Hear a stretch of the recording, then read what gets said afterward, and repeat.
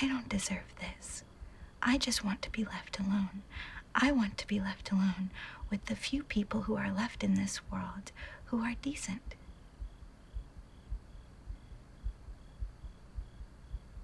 You are weak and greedy and selfish, and you are the root of every problem. You are why people betray one another. You are why there is nowhere safe or happy anymore. You are why depression exists. You are why there is no escape from indecency and gossip and lies.